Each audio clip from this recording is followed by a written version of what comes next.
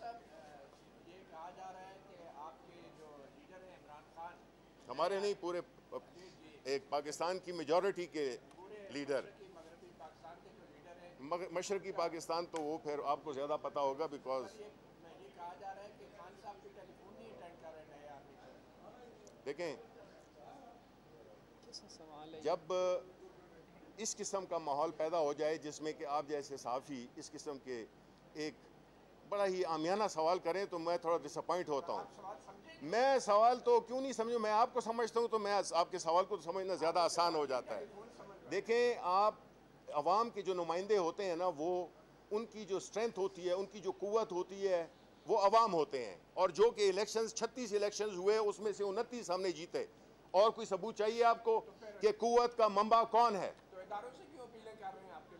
हर एक ने अपना किरदार अदा करना है हर एक ने किरदार करना है। आप ये कहना चाह रहे हैं आप बहस में नहीं पड़े मुझसे मुझे सब देखें पूरे मुल्क को पता है कि मोतियुर रहमान कौन है? ठीक है ना? इसलिए आप मुझे ये ना बताएँ कि मेरे साथ बहस में आप नहीं आप सवाल पूछें। फौज का क्या किरदार है? फौज का किरदार ये आप मुझसे पूछ रहे हैं हमेशा रहा है। पिछले पिछहत्तर साल से रहा है भाई। इस पे तो ये कोई अगर आप अपने आप को साफी कहते हैं तो अगर आप ये इतना मासूमाना सवाल पूछ रहे हैं आप मुझसे कहलवाना क्या चाहते हैं, ये मुझे पता है। एक ऐसा माहौल पैदा कर दिया है कि वो लोग जो कि ईमानदारी से अपना काम करते हैं, अपने फ़राइज़ निभाते हैं, उनको पसे पुश डाल दिया है और उस मखसूस टोले को एक ऐसा तहफ़ दिया गया है जिसकी किसी भी महजब माशरे में मिसाल नहीं मिलती। At the cost of repetition हजूर वसल्लम ने अपनी बेटी के लिए भी ये कायदा मुकर किया था कि अगर उनकी बेटी भी चोरी में मुलविस हो तो उनका भी हाथ काट दिया जाएगा। और इसी तरह हज़रत अली का फरमान कि जुल्म और बेइंसाफ़ी का निज़ाम नहीं चल सकता, कुफर का निज़ाम चल सकता है। उसकी बुनियादी जो पिवट थी वो यही थी कि किसी भी माशरे में अगर अच्छे और बुरे को अलहदा ना किया जाए, बुरे को सज़ा दी जाए, हमारे पूरे दीन का जो बुनियाद है वो इसी पे है कि आप अमर मारूफ नहीं नल मुनकर।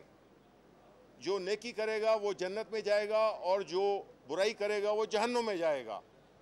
उसके लिए वहाँ पे, यहाँ पे हाकमियत तो अल्लाह ताला की है, लेकिन पाकिस्तान के अवाम के थ्रू उसके मंतखब नुमाइंदों को ये ट्रस्ट दिया गया है, उनमें रिपोज किया गया है कि वो पाकिस्तान के वसाइल की हिफाजत करें और आवाम की फलाह बहबूद पे वो ख़र्च करें। लेकिन हमने यही देखा है कि इस मुल्क में जिस तरह से ये माजी में पिछले तीस सालों में हुकूमती और मुल्की वसाइल की लूट मार की गई और प्योर इम्प्यूनिटी, कोई उनको उसका जवाब नहीं दिया गया। सियासत के पीछे छुपे और उसको पॉलिटिकल विक्टमाइजेशन के नाम से अपना तहफ़ किया।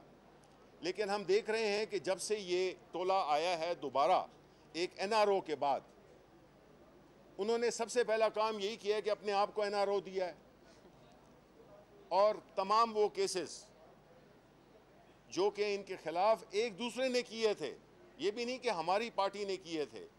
इन्होंने जो मुस्लिम लीग ने नून पे और नून ने मुस्लिम पीपल्स पार्टी पे किए थे वही केस सारे माफ़ करा दिए गए।